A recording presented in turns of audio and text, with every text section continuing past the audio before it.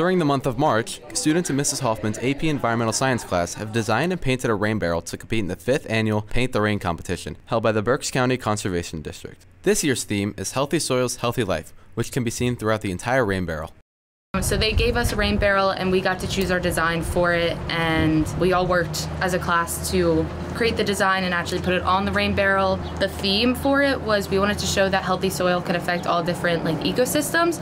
So that's why if you see like there's a barn and a cow and stuff on that, that's to like represent like one type of ecosystem. Um, we have a forest and then like a jungle with a monkey. The rain barrel is displayed at the Berks County Agriculture Center used as a fundraiser and competed against other school districts in Berks County. During this year's two-day competition, 325 people attended the event and were encouraged to vote for their favorite barrel. Out of those who voted, Boyertown received 30 votes. The barrel is now on display and is being auctioned for $100.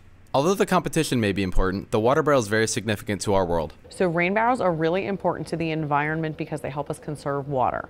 So you can have a rain barrel at your house, a residence or apartment building, business, anywhere like that, that basically is just gonna collect any of the rainwater that comes down out of your downspout. You can put this right into the barrel then, and then use it for anything other than drinking. It's non-potable water, so you want to be able to water your garden, wash your car, do anything like that with it. This has been Jake McMahon reporting for Bash TV News.